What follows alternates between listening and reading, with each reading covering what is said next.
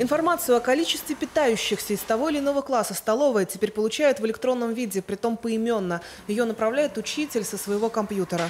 Вот он, список учащихся. Напротив каждой фамилии информация о количестве денег на счете. Зеленое поле значит средств достаточно. Желтый хватит дня на три. Самый неприятный цвет – красный. Если красным, то недостаточно средств для выбранной категории питания. То есть это означает, нужно срочно закинуть деньги на школьную карту. И именно в функции класса руководителя входит э, оповещение родителей.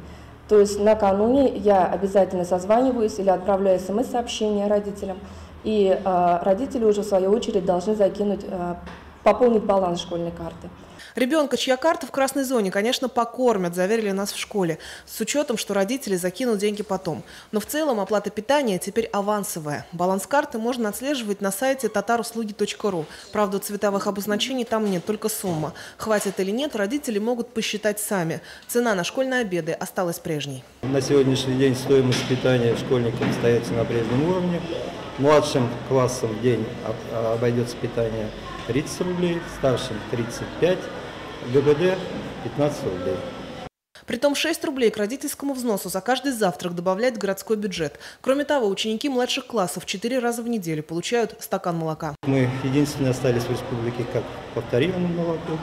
Нужно здесь добавить, что э, у нас на сегодняшний день с 1 по 4 класс школьники получают бесплатно тарифное молоко. Нижнекамские дети школьной столовой пользуются активно. Охват школьным питанием составляет более 90%. В некоторых школах, например, 29-й, завтракает 99% учащихся. А что давали? А, макароны, котлету, свеклу и сок. Все съел? Да. Очень вкусно, мне понравилось. А есть что-то, что ты не ешь в школьной столовой? Гречку я не люблю. А часто дают гречку? Нет.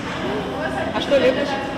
Макароны. Макароны с котлетой, и когда еще дают сок. Любимые всеми детьми макароны с котлетой они получают не чаще, чем один раз в 14 дней. В школах работает по двухдневному меню. Оно согласовано с санитарными врачами исключительно здоровое. Например, школьникам дают хлеб с морскими водорослями, овощи, фрукты и, конечно, каши.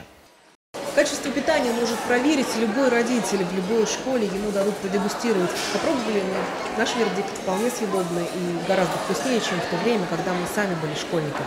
После дегустации родители попросят написать свое мнение о питании. Фразы типа «все понравилось», «управление образования не устраивают». Специалисты ждут конкретных замечаний и предложений, чтобы завтраки учащихся становились еще лучше.